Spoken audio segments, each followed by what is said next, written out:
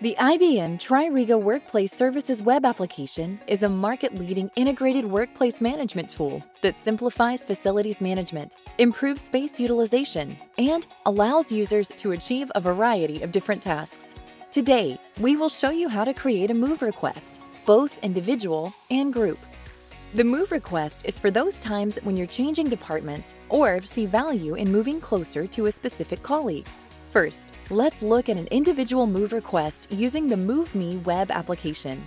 To get started, log in to your IBM TRIRIGA Workplace Services dashboard and select the MoveMe icon.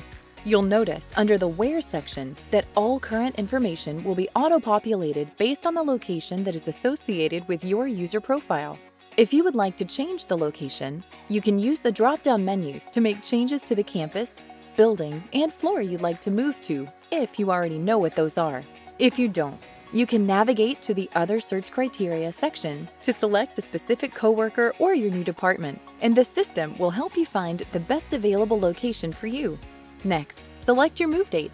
Please note that facility managers or space planners can customize requirements or restrictions to the system, such as offering dates that would provide enough lead time or only making specific move days available.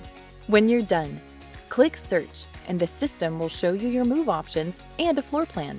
The legend on the right will tell you what each color means and uses a dark version of the colors to show you which options are available. If you filtered for a specific colleague, the system will show you which workstation they are assigned to you can also see and select available workstations in a list view if you prefer. Or you can choose your new location from the floor plan. When you're done, click Select to move on to your summary page. Here, you'll need to select the reason you want to move and any additional instructions, like a standing desk you'd like relocated with you. Before clicking Submit to continue, back at your dashboard, you can view your request and its status.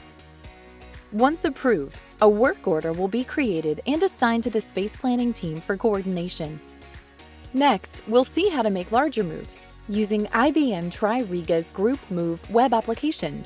This is useful for space planners and department heads who want to move groups of people, like the accounting department, assets, or equipment to a new location.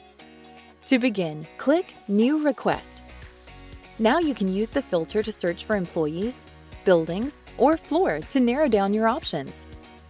We'll use the accounting department in the Charlotte Watson Center for this example.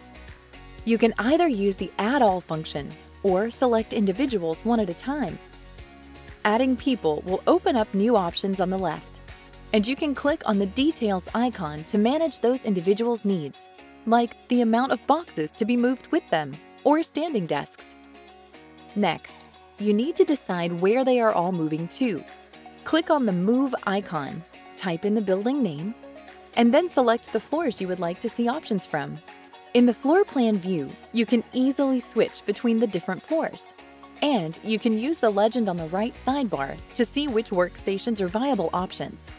As before, dark means that the space is available one at a time, select the checkbox for each individual and click the workstation you would like to move them to. Once you're happy, click the summary icon on the left to add the move reasons. See which space planners have been assigned to your move and make any comments. Click Submit when you're done. On the following dashboard page, you will see the status of your request. Once approved, TRIRIGA will notify the relevant employees. Every year, TRIRIGA efficiently processes more than 65,000 work orders and has helped our clients save more than US $30 million in unnecessary costs.